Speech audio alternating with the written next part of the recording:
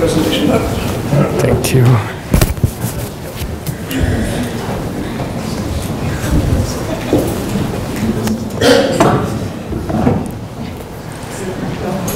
Thank you very much for inviting me um, to this uh, incredible meeting. It is such a great honor for me to be here to represent my father and my brother and myself and the work we started. Actually, my father started and we were his associates. And um, I might prepared a too, too long talk. I didn't know uh, how much time exactly I will have. Anybody feels like you can leave, I'm not upset.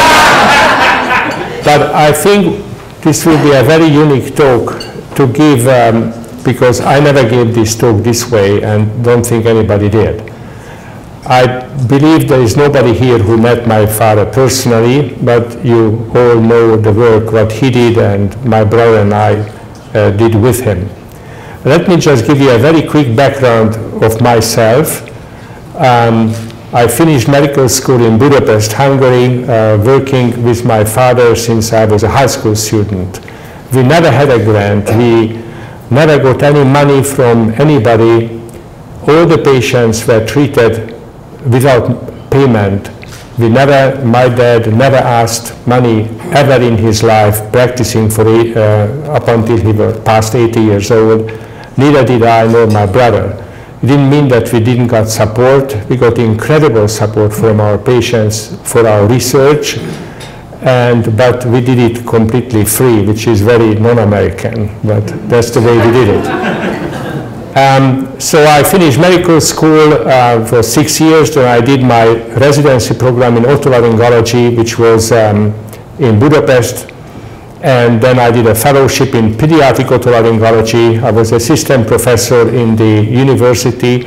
And besides all of this time, I was working in my dad lab and was involved in almost every experiments. In addition, I did uh, experiments in the vestibular system, the auditory system, won several awards, and I was able to get a fellowship to the University of Pennsylvania uh, Jim Snow invited me, the chairman, who became the first uh, uh, director of the National Institute of Health Nose and Throat Department. And uh, unfortunately, because of political reasons, I was not able to come for five years. But eventually, in 1986, I was able to leave communist Hungary, and I was working as a research fellow and as a research assistant professor at the University of Pennsylvania doing research at the sinus, smell and taste, and low power laser. And then um, I got a, I was unable to get an NIH grant to do laser biostimulation because it is just a very difficult acceptance territory.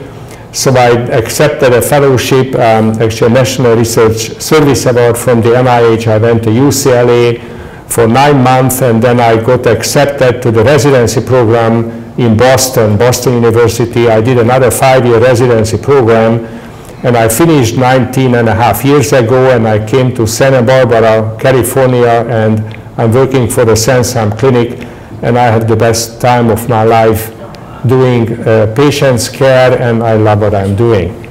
So, but I would like to talk about the invention of laser biostimulation, which is based on my dad's work. I have a couple of slides.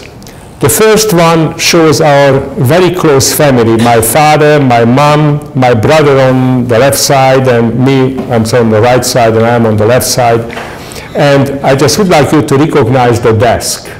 This desk, I have it here now, I mean, in, in Santa Barbara, this was Professor Adams' desk, which, who was my desk professor, and I'm going to talk about him down the line. This is the first patient, and I just would like to clarify it because everybody heard about it, but I would like to tell exactly what it was. My dad was always very proud that he started his research at the bedside and he ended up his research at the bedside. He was not a scientist, he, he did a lot of research, but the patient was the number one in his life. Uh, unfortunately, this is a post-mortem patient of a, uh, of a woman whose brother was a, the lung surgeon in my dad's department. And he told my dad that the sister has an incurable melanoma. This is a metastasis in the armpit. You see the x-ray damage uh, on the shoulder. And my dad was reading everything he had on this big desk was filled up with books and current newspapers, and he didn't keep them, he read them, which is pretty unusual.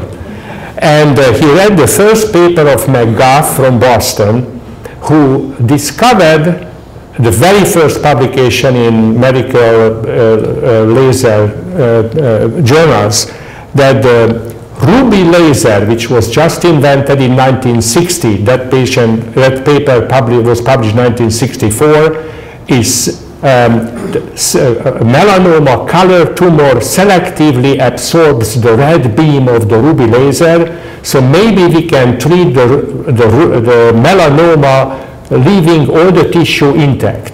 We know it failed, but that was the first paper on animal models.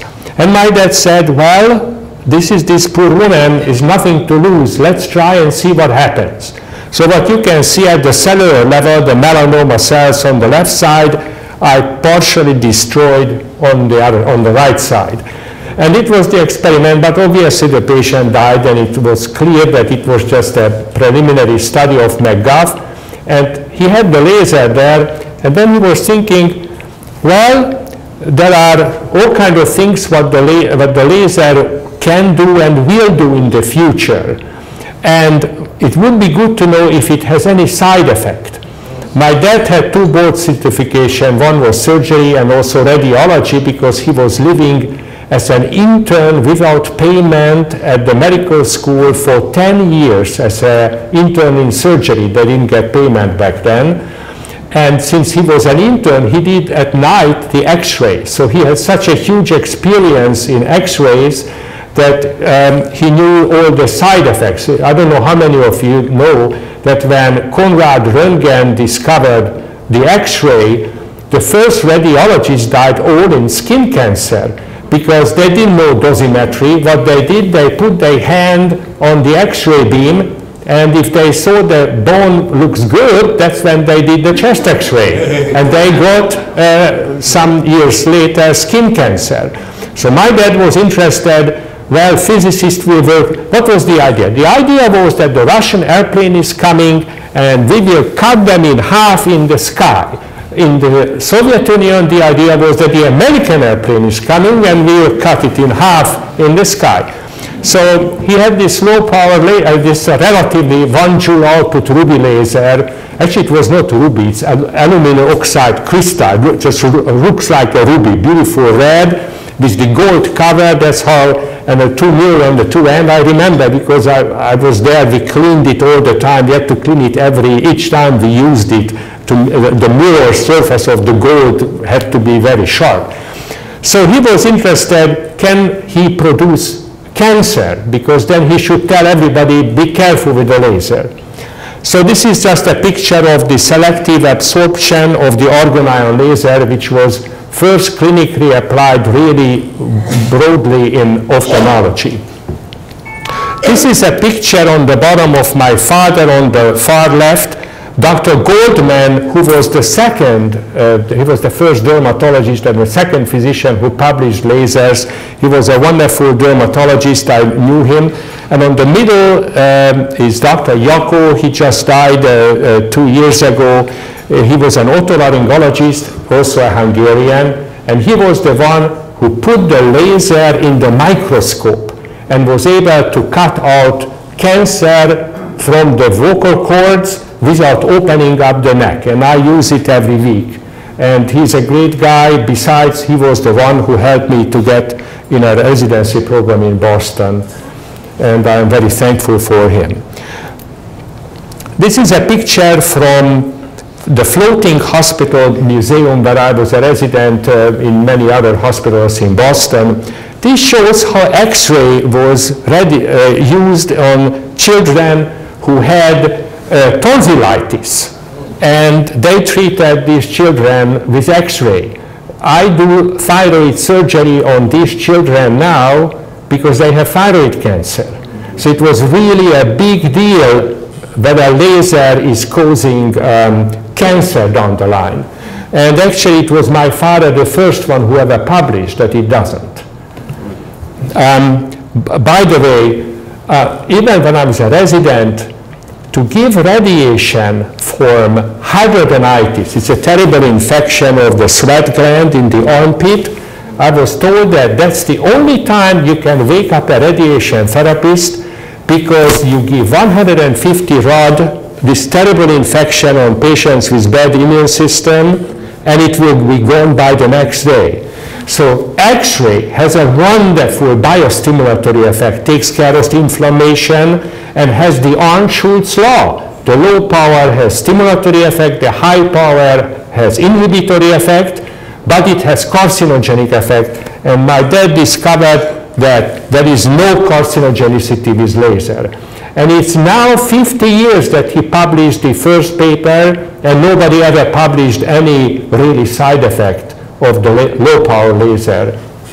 Um, what the first study, what everybody knows here, is the hair growth. So what he did, he took off the hair of the, of the mouse and radiated, and surprisingly, on the left side you can see that the, he had to shave it every each time he radiated the, the stomach of the mouse. That the hair is growing more rapidly than around.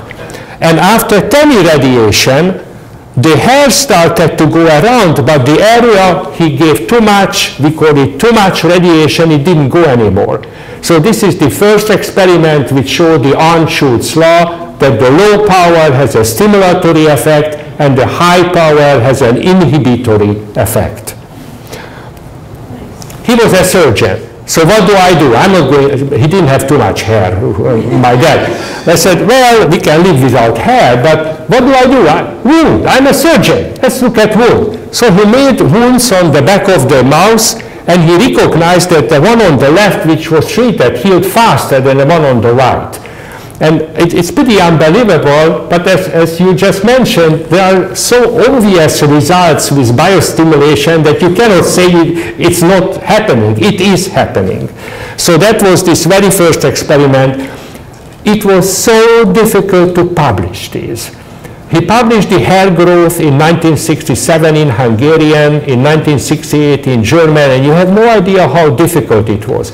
And the wound healing, that was the most difficult. I said, oh, come on, there's no way. Nobody else found it, you cannot explain. You know, when the physicist uh, is sitting in the room and the other physicist is coming in and said, you look so worried. I said, what's going on?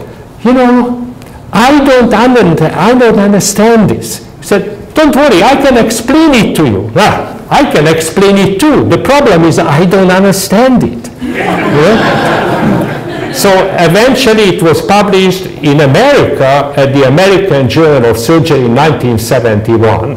But by that time he already had human healing as well. So this is a first experiment um, uh, on an animal on the wound healing laser stimulation mitosis index. And he found that the, uh, the bottom flat, flat line is normal skin. The one above shows that the injured skin has a much higher mitosis index. And the one which was given the laser has a much higher. So the mitosis, the vision of the skin is stimulated. This is the very first patient, 1971. So how, how do you, we did not have animal committee, uh, subject, uh, human subject committee. What we had is the Hippocratic Oath. And my dad followed all of his life, and so my brother and me, we never ever had any human subject committee or animal committee. I don't know if anybody knew Dr. Ascher. He was a professor in Graz, a neurosurgeon. He was the first, I knew every first guys. And Dr. Ascher was the first who used laser in neurosurgery. And he came over from Graz to Budapest. We had dinner. And my mother asked, did you do experiments on animals? And he said, no, only on humans. I would never get permission in Austria from the, there was no uh, animal, oh, it was only animal society, you know, they were projecting, but for men you could do anything. Hmm. So that's the very first case, beautiful healing. So he chose patients who were who had leg ulcers for five years, for 10 years. They were on pain, they were suffering, and you don't have to tell them twice. You just told, you know, this mouse healed faster. Do you want me to do it free of charge? what is the answer?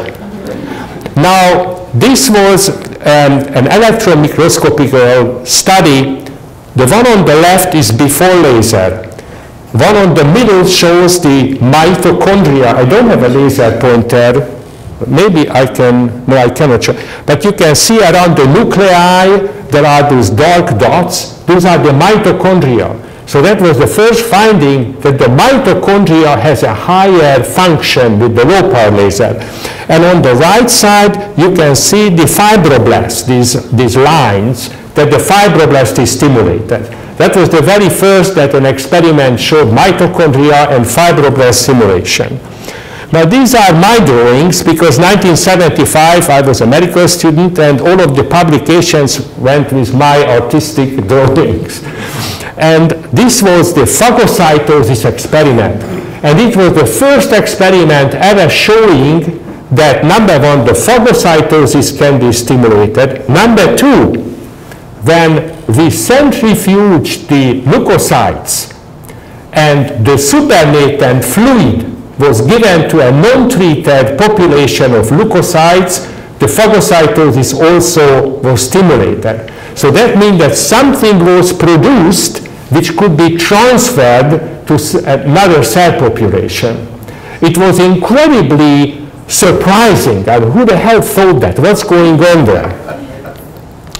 So this, this was the first, first time I went, I was in, in um, I was 17 years old. We went to the operating room, did experiments on dogs. We opened up the stomach, opened up the small bowels, and were studying the movement of the small bowels. And I remember I got pale. They told me, sit down. That was the first time I went to the operating room. And we saw that the low power laser stimulated the microvilli. We did um, a movie out of it. It was just wonderful to see how the microvilli, which do the absorption, are moving fast. And then when you gave more radiation, it stopped moving. And then the acetylcholine releasing effect was also documented on guinea pigs. Now this was the first tensile strength experiment what my dad did. And as you see the wound on the back of the, of the uh, uh, mouse, and we drop the um, um, uh, fluid in and, and we could measure the strength you need to open up the wound after you, you close it and treat it with the laser. And on day three, there was no significant change. Day five, there was no significant change. But on day eight and 12, there's a very significant, highly significant increase in the tensile strength of the wound, which was also a very important finding. This was uh, repeated in many other countries and everybody found identical. But you have to understand, there was nobody else who, it was so difficult to publish, nobody believed it. I mean, who else found it? No, nobody else found it yet. now, this is very important, the microcirculation. Um, it's it's a, the ear of a rabbit. And we made a hole, you see the hole on the rabbit, and we put a plastic chamber and we visualize the capillary ingrowth to the hole on the rabbit and we found that the laser irradiated a much higher increase in the microcirculation. This is, and actually this is when my dad said, let's try diabetic patients, ulcer, because that's microcirculation. Because before that we had only varicose vein and arterial vein. This was when we started to treat diabetic ulcers. On the left, you can see the laser irradiated, you see the capillary ingrowth going avidly in. On the right side are the six control pictures when there is only a few capillaries. It's a highly significant uh, finding. So laser biostimulation has been identified in a variety of molecular and cellular level, whole organ and tissue levels. The synergistic effect when uh, multiple issues can play a role in the immune system remote effect, which I'm going to show you more slides, and the dose dependence. Now, um, laser treatment of non-healing ulcers. I published with my brother because my dad passed away in 84, and we did this study between 1975 and 1985. We had a total number of patients of 2167. And out of these, 1,361 received laser because the rest we cured with the conservative treatment. I'm going to tell you what it is. So we treated the patients in our group for three months, everybody, and those patients who did not heal or did not improve, they became subject of laser therapy. It's very difficult to do double blind. People, you know, say, well, why didn't you do a double blind? It's very difficult to do double bind on a non-healing ulcers. You know, you, you have a wound on your leg, it heals up in a week, right? And uh, so it's very difficult, but that's, that's what we did. We used ruby laser on the beginning, then we didn't use it because it was pretty complicated. Came the helium neon laser, argon ion, and the diode laser, which makes the life so much more simple to treat. Treatment was once or twice a week, depending, because we didn't have more staff. We could do it on Tuesday and Friday. That was it, Tuesday and Friday. That's why we used the protocol. And some patients who came from far away, because we had patients traveling eight hours on the train for the 10-minute treatment and going back to the village, um, they came only once a week. But two principles. Don't use a laser if you don't need it. That was Dr. Goldman who said that, and we followed up on it. And primum uh, nil nocere, first, do no harm. We always kept it in, in, the, in the eye. If somebody needed surgery, go for surgery. Do not harm. That was a very important principle in my office. Now, I am going to show you some categories of wound healing. This is the, nearly, the first nearly circular leg ulcer. the first two shows the inside surface. The second two shows the outside surface of the leg, almost circular. These are terribly painful, non-healing ulcers. The average time we had the patient with leg ulcer was five years, no healing. And what was the treatment time? The average treatment time of this ulcer was uh, six months. So these people came, and you can imagine that even if it's free, and to wait hours to get in because we had so many patients, it was, they saw it, and the first which was happening, the pain was gone. And there's nothing more beautiful than to get rid of the pain. And then the healing started. And I'm going to show you how did it work. Now this is a very difficult case when there is a tendon exposed. You see on the first picture, tendon, necrotic tendon. My dad says, I don't think it will work, but let's try. And we debrided it and look at from always from the periphery, it grows inside and eventually it heals up beautifully. Heel ulcer, one of the most difficult uh, blood circulation and it's incredibly well healing with the low power laser. This patient, the reason I show you, you can see this patient underwent skin graft. You see the skin graft opened up. Skin graft opened up again and again, and with the laser it healed up nicely. This is the diabetic lipoid necrobiosis. It's only diabetic patient have this skin lesion which get ulcerated. And actually this patient, this, all of 100% of these patients healed up with the laser. It's really heals very well. Uh, my dad really liked this picture. The first is a heel ulcer. And then they said, they took a picture of it, an x-ray, and they said, you have to amputate, this patient has osteomyelitis. And my dad was a radiologist, and he had a big argument with the radiologist. He said, this patient has no osteomyelitis because he can see the trabecles. That's not osteomyelitis. It's a deep wound. And as you see, it healed up nicely, and uh, there's no, no bone damage. So it's very important that you have a good radiologist as opposed to a stupid radiologist who just says it, a, it must be an osteomyelitis. This is a club foot. Uh, you know, the patients who have this strange uh, soul, you know, it's a compromised uh, venous stasis ulcer, club foot. All of these patients has many problems. They are not easy patients, healed up nicely. Leg ulcer healing. That one healed up, return with another ulcer. So it happens that they, they have recurrence, heals up again. So, but you have to educate the patient how to keep you know, uh, uh, compression band-aid on it. One of the most difficult ulcer is the diabetic gangrene, the dying toe. This patient already had two toes amputated. And uh, this is this uh, toe which is there. You see it's getting clearing up and nicely healed up. This is I mean, I remember every single patient. I mean, we treated this patient for a year. He's a bake, he was a baker in East Berlin.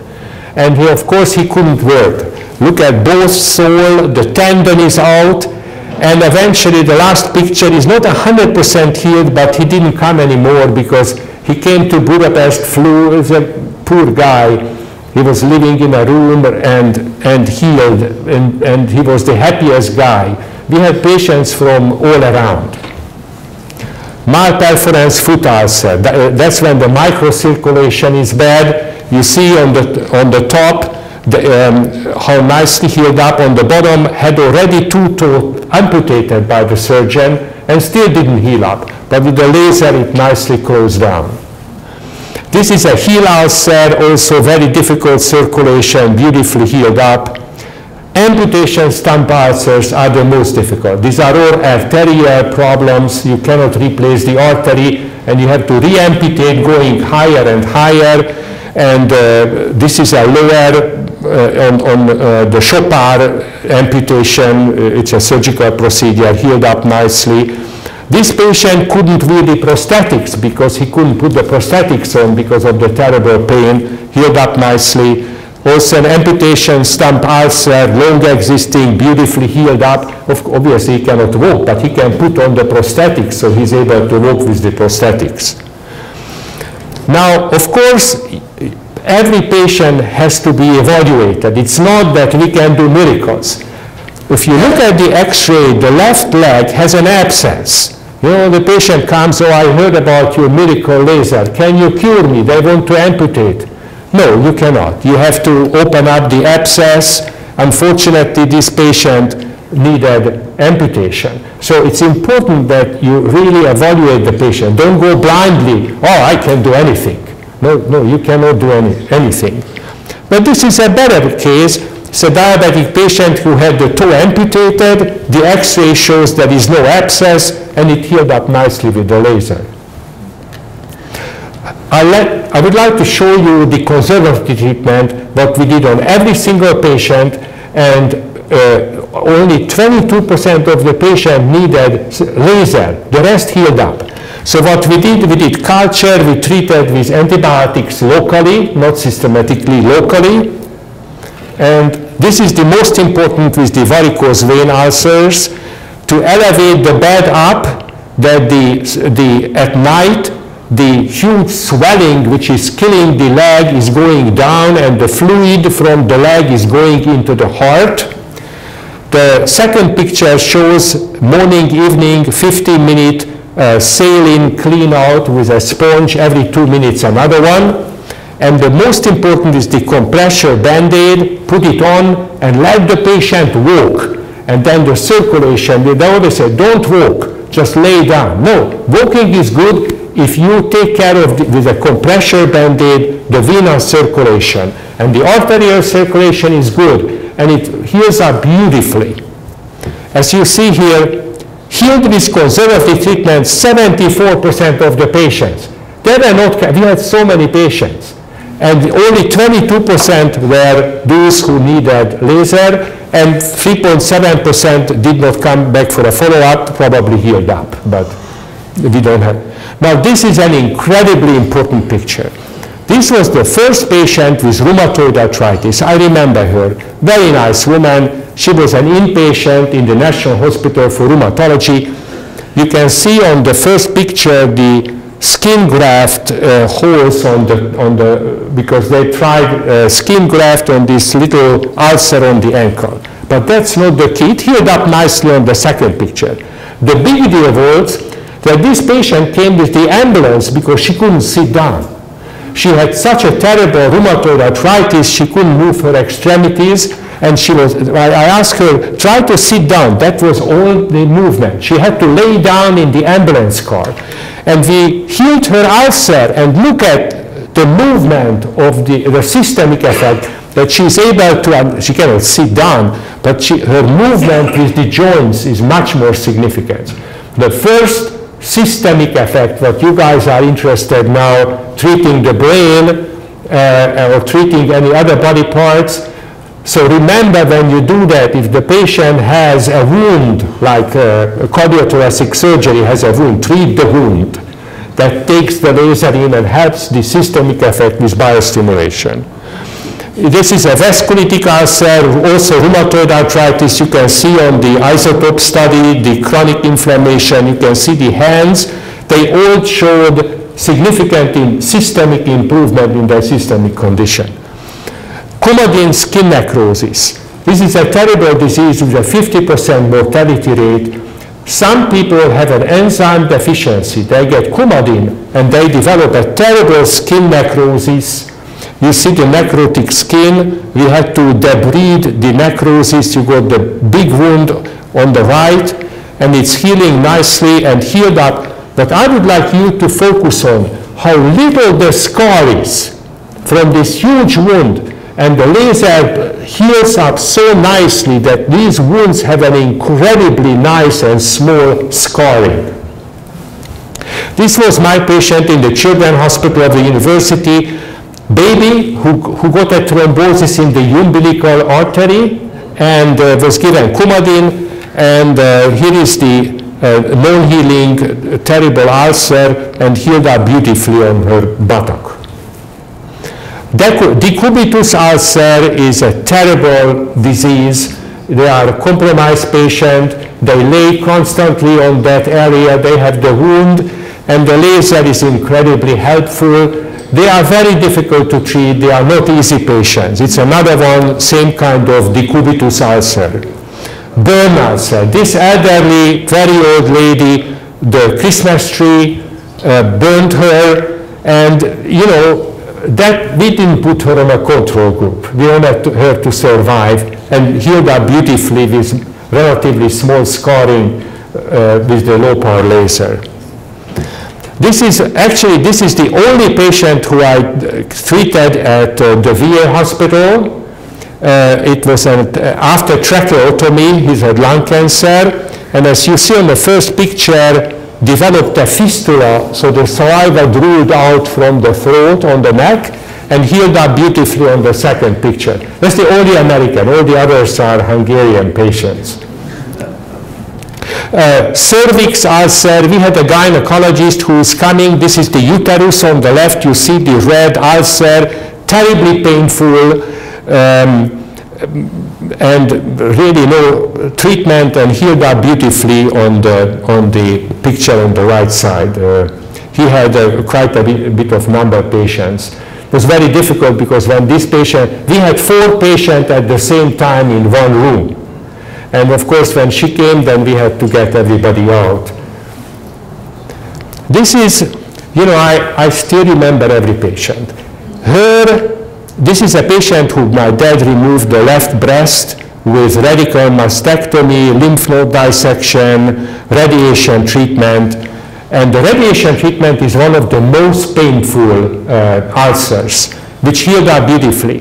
The reason I remember her, because her brother um, Dennis Gabor, who got the Nobel Award for the laser hologram. There are many Hungarians involved in laser. And uh, we were, he was already dead, the brother, but my dad was so happy that we used the laser on, on Dennis Gabor's um, sister. This is another patient. You can see the rib is out on the armpit because of the radiation. Now radiation treatment is much better than back then. But it's still a problem. They, then they give much more and much heavier radiation than the ones going on. healed up nicely. This patient, I remember because he, he was, I don't want to say the name, one of the wealthiest person in Germany. He had a, a television and radio factory. And of course, somebody with psoriasis is suffering. What do they do? He has money. We have to help him, give him radiation. And the psoriasis will be much better. So he's uh, developed a semi-malignant tumor. My, nobody wanted to cut it because he was such a famous guy. Flew with his two-jet, two-engine jet to Hungary, and my dad cut it off and healed up nicely. And uh, uh, he also had a leg ulcer, which was cured. This is an ulcer on the nasal septum, one of my patients on the top. And this is an ophthostomatitis ulcer on the mouth. You guys talked about it today. Uh, you guys doing it here too. Labial herpes. This, is, it, this patient was admitted to the children's hospital because he couldn't eat and drink. So what would you do here? IV line, you know, didn't need IV line. One laser treatment, next day, next day, next day. And was all cured and on day two was able to eat and the pain was gone. This is a newborn baby. I don't know if you can see the ulcer here in, in the, on the mouth. And uh, one laser treatment healed up nicely, couldn't, couldn't suck the milk of the mother. And it's really dramatic improvement. This is a, the husband was a radiologist. I don't know, these radiologists have all this problem. and that was his wife. She kind of used of all kind of chemicals on her face. She was very pretty, but she wanted to be more pretty. That's what happens. And she developed this terrible non-healing ulcer. And look at the scarring, how little scarring this patient has. So remember that you can have an incredible good cosmetic results beside the fast healing.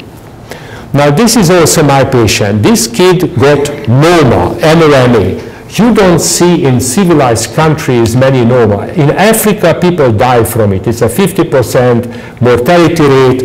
It's a necrosis, an, an anaerobic infection, necrosis of the mouth, breaks through the buccal mucosa and develops a hole, the whole face goes away.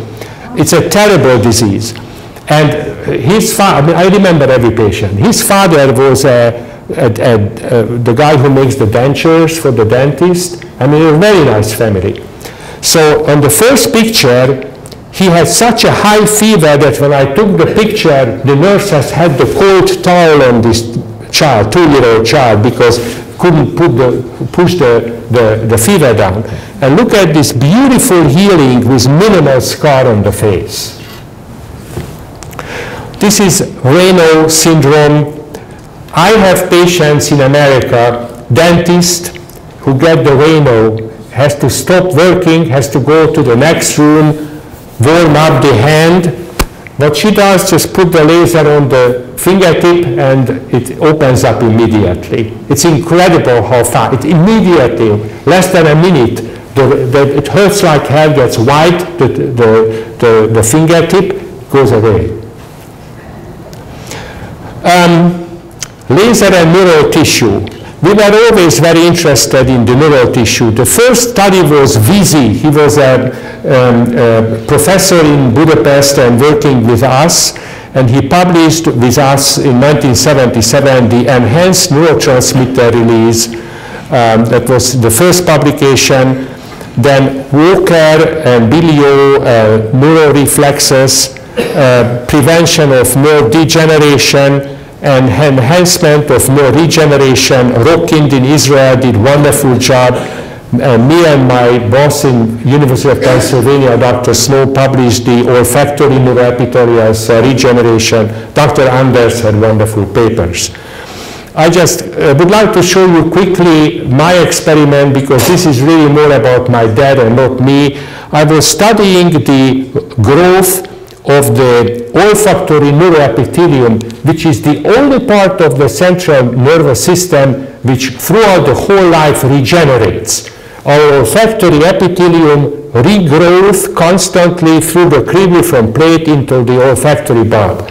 So we used 15-day um, rat fetuses and 22-day rat fetuses. The rat fetus is coming um, to life at day 23.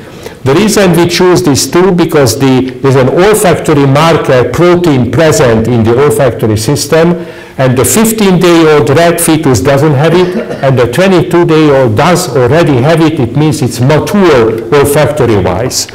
Uh, this is the, the section I did. This is the 22-year-old cut off the mandibule, the olfactory uh, epithelium on the septum, I put it on the grid and tried to let them grow. The neurite outgrowth are seen here. And we measured the number of outgrowth. Right top, you can see there are four, uh, four explants. How many of the outgrowth, uh, the explants have outgrowth, the length of the outgrowth, and how many outgrowth there are. And we found that the incident energy density of 0.5 joule per square centimeter has a significant stimulatory effect um, on both the, uh, the 20, the 15 day old and, and, um, and the 22 uh, fetuses.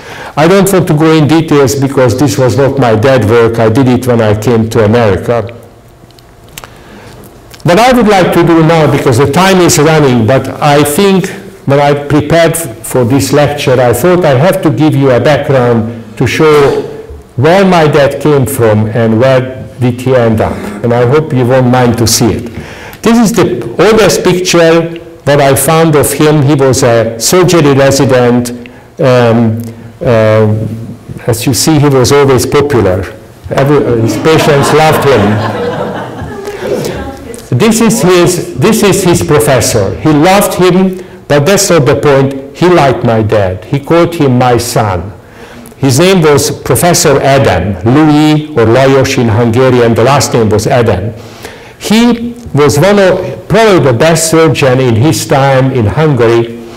And he was the one who introduced local anesthesia. Can you imagine surgery without any anesthesia? He introduced in Hungary local anesthesia, what he learned in Berlin.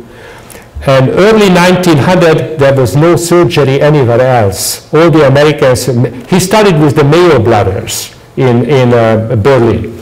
So he came back to Hungary. He married uh, this baroness, uh, who was a wonderful woman, and he just liked my dad. He hired him, and my dad was working for him and learned um, uh, uh, surgery, philanthropy, respect, and love of the sick person, knowledge and will to fight against disease. The painting on the, on the very right, I have it, we inherited it when he died. He, my dad had his painting above his bed, that's why we went to sleep. Uh, my dad saved his life. In 1944 November, when the Nazis invaded Hungary and you didn't want to be on the street and uh, my dad was on the Buda side and, the, and the Professor Adam on the Pest side, and he had an ileus, no movement of the bowels, and they said he will die. The two professors who went, they called him. My dad went over just risking his life just to go there and did an irrigoscopy. That's an x-ray to put enema in the colon, and he identified a small cancer. It's good to know radiology. And in the basement, they did surgery in November 1944 and saved his life. He lived two more years. It just shows how my dad always told me that, you know, the Hippocratic Oath is changed. He, he spoke five languages and he knew classic Greek. And he translated the original Hippocratic Oath. He said, it's in that I promise that I will support my teachers family when it's necessary. In fact, my mother took French lessons from the widow after the professor died because she would never accept any help. And she took French lessons from her. She loved her too, just to support her. Now, this is a picture from 1930. That's when my dad was an, um, an no-pay intern in surgery.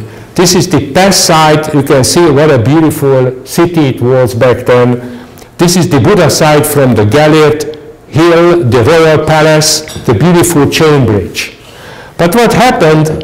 The German troop invaded Hungary when the Hungary wanted to get out of the World War II, when they were fighting actually with the Nazis against the Russians. And uh, in uh, March 19, 1944, the Nazis invaded Budapest.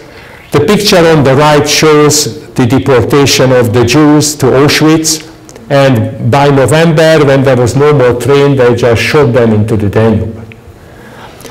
On the left bottom, the Soviet army was coming and liberated the country, uh, liberated Budapest. And the one on the picture on the right shows the Bernard Royal Palace and the beautiful chain bridge, which was the first bridge between Pest, completely destroyed. So that was my, my dad's life. So what did he do? He met my mother. That was his greatest fortune in his life. And uh, my mother was already a widow. Her husband was killed. Her husband and brother were killed already in, uh, in the Soviet front.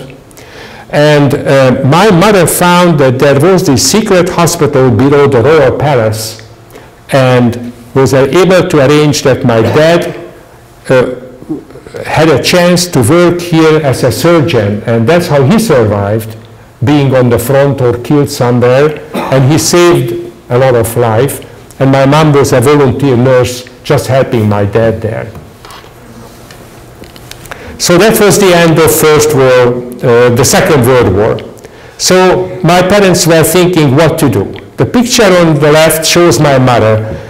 Um, all the, the factory they owned, I mean her family, um, was taken down by the German. They took all the equipments from the factories out to Germany. They opened the bank safes. They took all the money and the jewelry. So she had absolutely nothing other than my dad, who she loved. They met, and it was a wonderful marriage.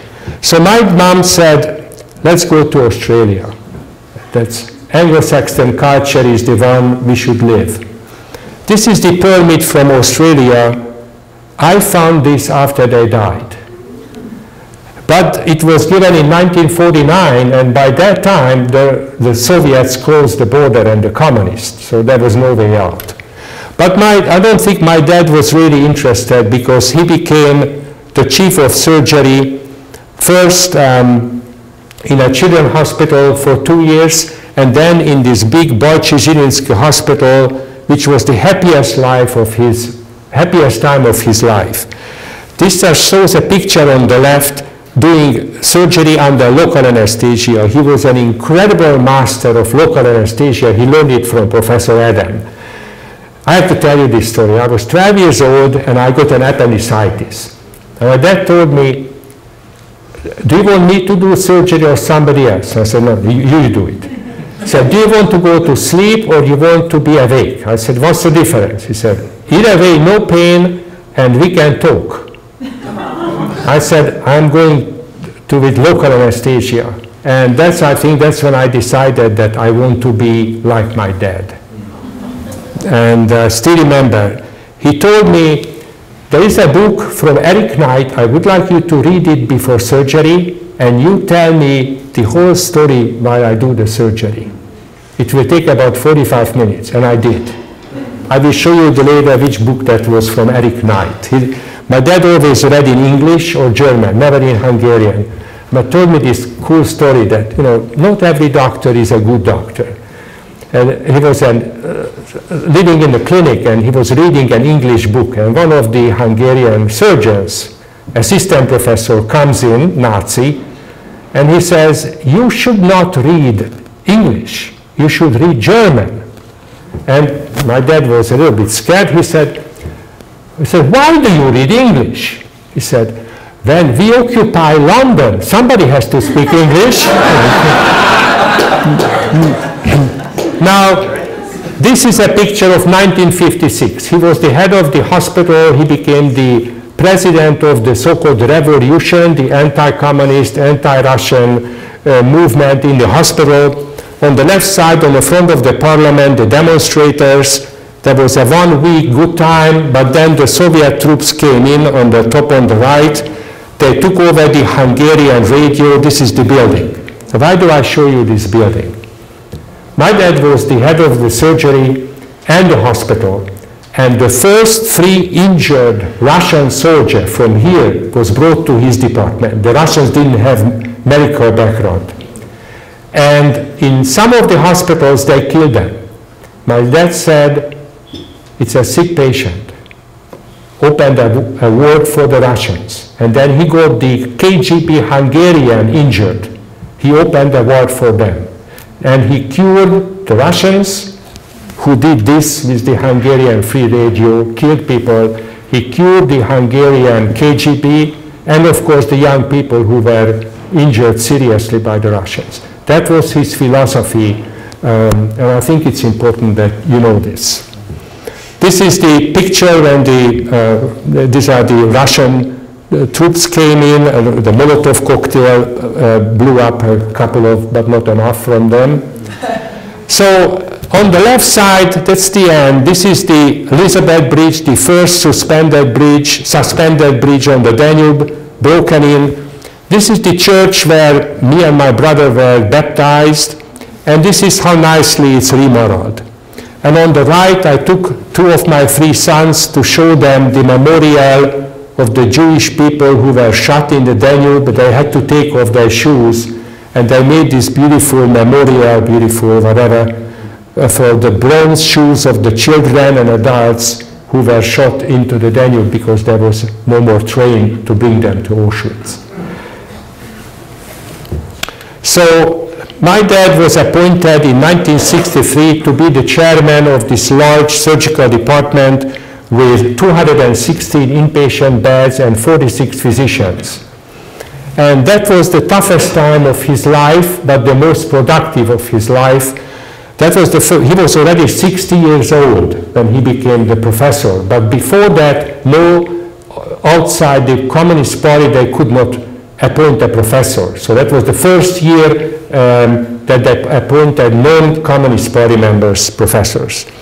It shows he was always working, he read everything and then he wrote a little summary with his hand of the papers he read.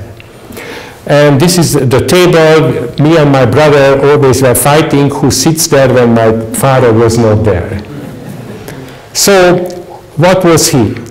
Board certified in surgery and radiology, outstanding surgeon in all territories of surgery. I have to tell you this story. He was always very proud of it. He was the head of the children, children pediatric surgery for two years, and there was this little kid coming with a big brain abscess. He read the first article of the miracle weapon of the Americans, which was penicillin, the radar and the penicillin after World War II.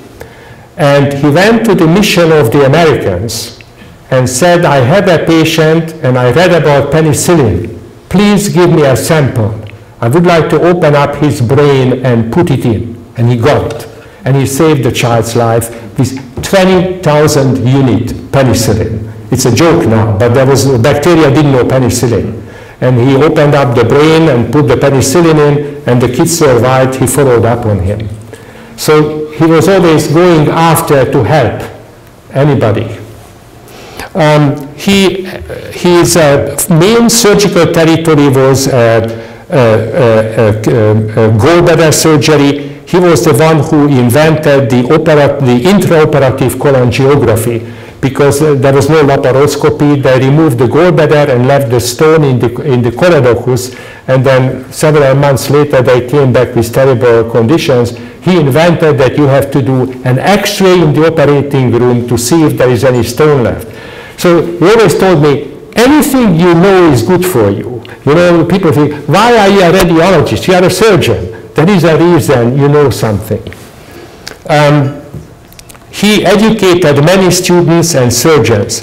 And he always, he never said, Dr. so-and-so or Jim or whatever. But he said, my dear son, all of his residents, he said, my dear son, and then he said, you did really something terrible. But that's how he started, my dear son. That was the way he called his residents.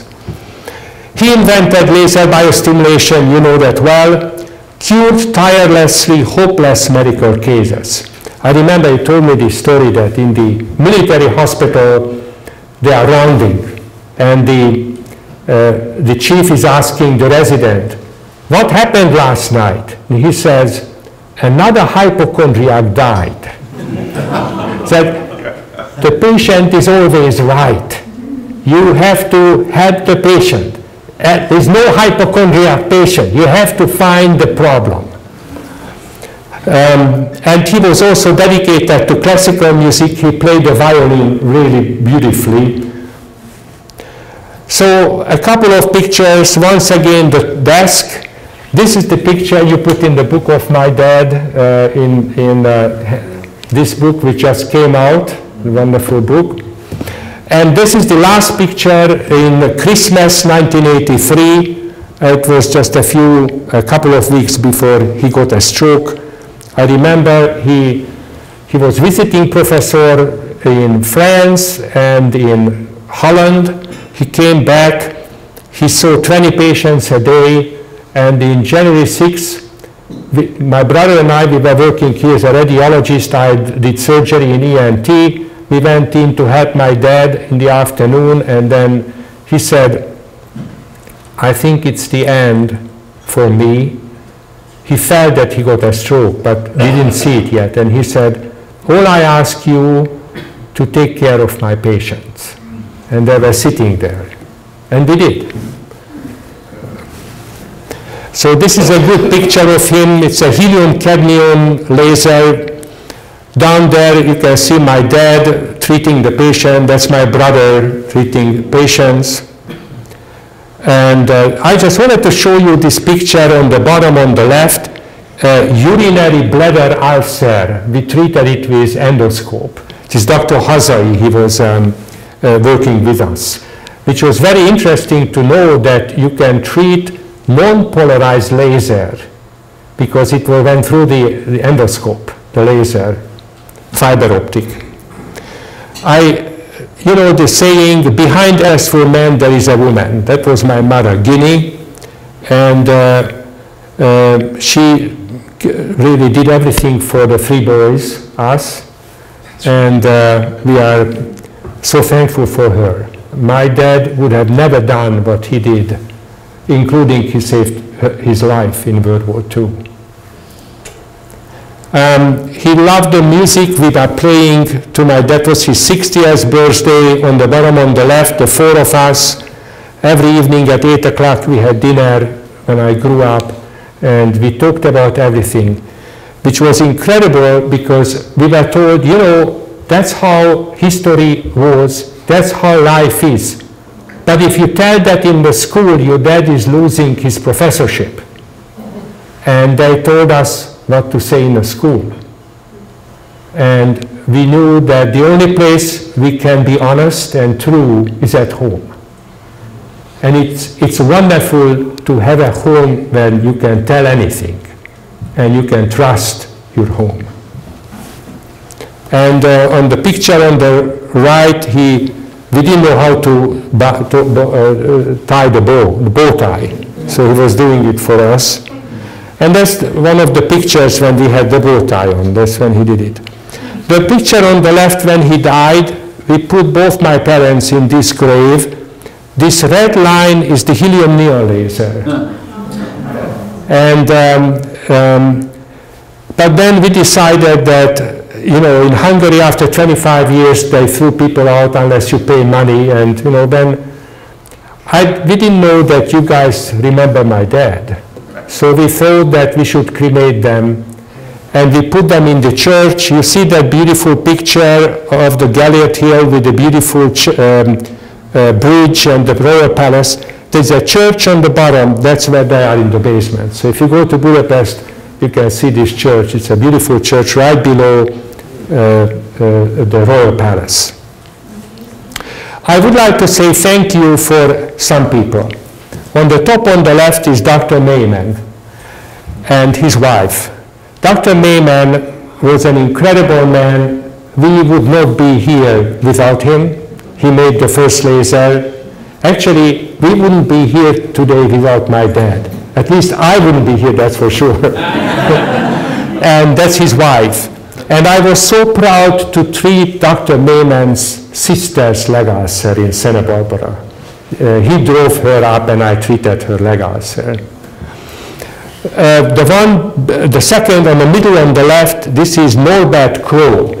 He was the physicist who gave the laser to my dad. He was, he's an, he was an incredible physicist who is currently 82 years old, vice president of the Hungarian Academy of Sciences, still traveling all over the world, incredible guy. And each time I go back to Budapest, that's my wife Sunny, we go to visit him in his office. The one on the bottom on the left was the greatest, other greatest supporter of my dad, Dr. Waidelich. He was in Darmstadt and then in Munich, the head of the medical optics, you probably knew about him. And he gave the, the polarized light to my dad and all the additional wavelengths to study which wavelengths is most effective on the lymphocytes. And he was an incredible supporter and he is included in many of our publications. Um, on the top, on the middle, this is uh, uh, uh, Dr. Snow, Jim Snow. He came to Budapest when I was a resident, and, and actually he was not interested in laser back then. He was interested in my studies in the uh, brain and inner ear, these vestibular uh, experiments and hearing experiments. He invited me to go to Philadelphia, and I can thank for him that I was able to come to America and make a great life here. On the right, on the top, uh, this is Dr. Atsumi, we didn't really work with him, but he was such an appreciative man. He came to Budapest and he was a big supporter of my dad, my brother and me. He invited me to Japan and all over in Asia we lectured and we really liked him. The one below is Mario Trelles. I'm sure some of you already met somebody who knew him.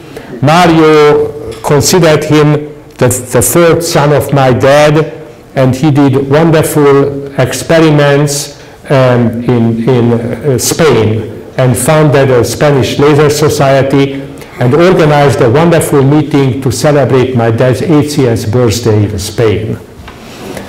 On the bottom on the right, these are the nurses and the technician in the middle, Joe, who were my dad's nurses and technician, mine, and still working for my brother. Incredible people and finally, I have to say thank you for the people sitting there. That's how the people came and were sitting, waiting hours to be treated.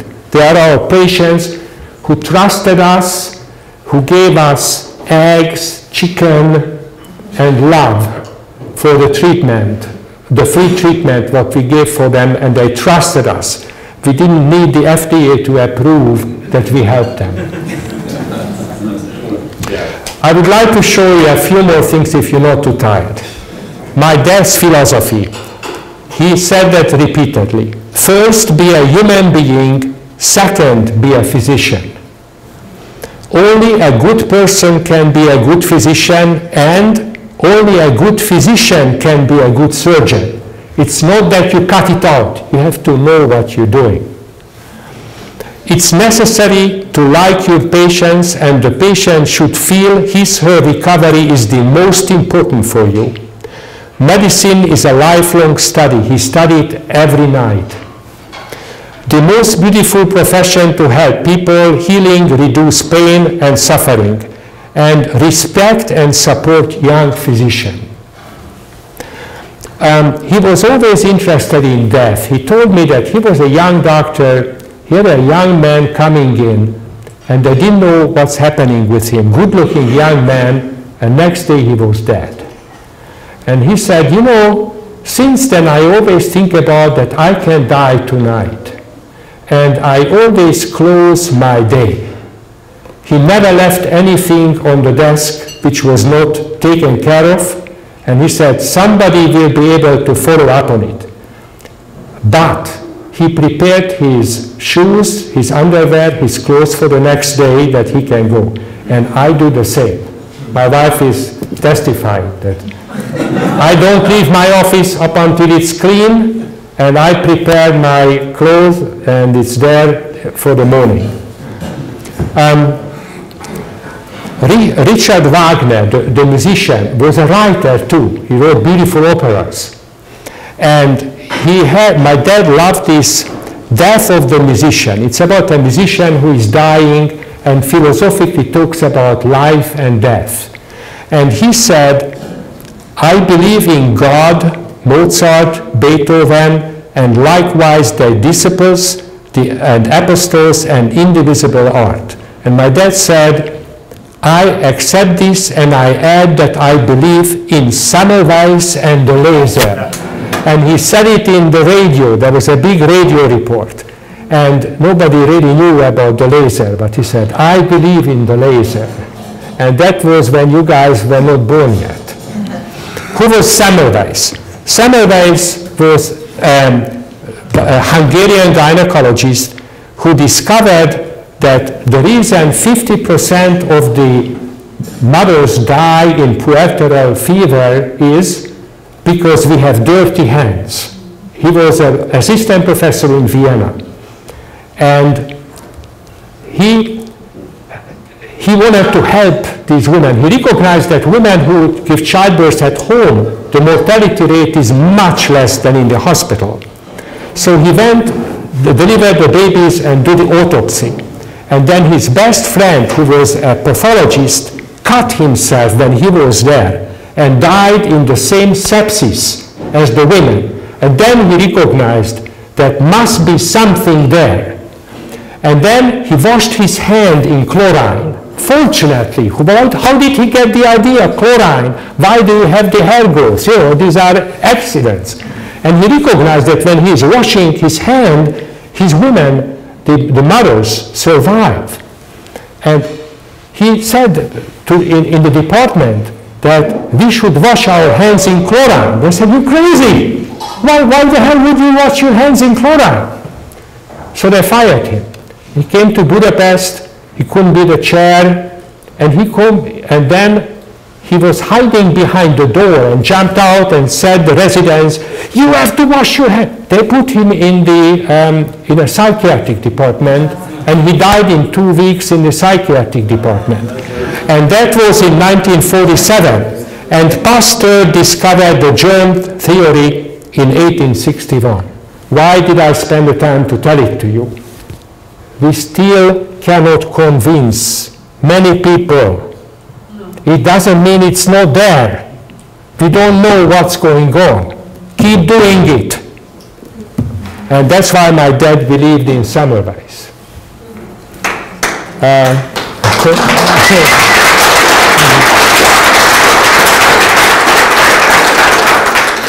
Eric Knight, he, he, just really liked Eric Knight.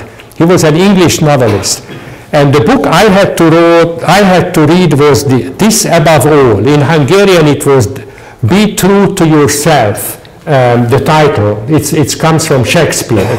and it's about, that it, the, the meaning is that if you're not true yourself, you cannot, true, you cannot be true to anybody else.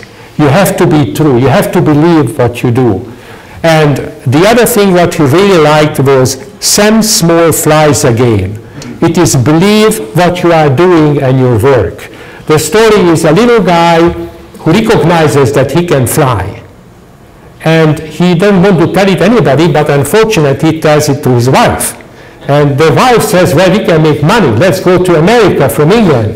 And you will fly, we make a lot of money. So they go to America, and he's nervous, and he cannot fly. And everybody is laughing on him, and they go back to the hotel, and they're depressed. And he says, how do we go home? We don't have money to go, to go home back to England. The wife said, fly me home. Do you believe that I can fly? Yeah. And they flew back. So, well, this is my family. Um, the three boys, Matthew, Mark, and Luke, my wife, and Hannah, my stepdaughter. And I thank you for your attention.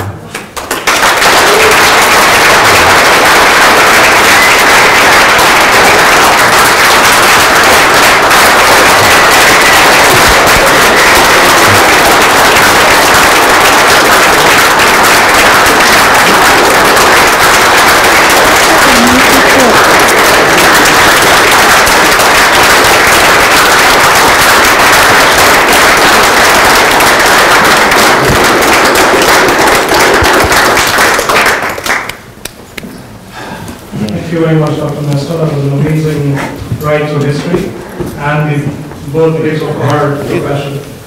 Um, As a small note of appreciation, I know we're running a little late. Morning's looking at a watch. Um, uh, The North Board would like to thank you for your time and all the contributions you and your family have made to the field. And we'd like to offer you a lifetime membership to our association as a small token of our appreciation. So we hope to see you.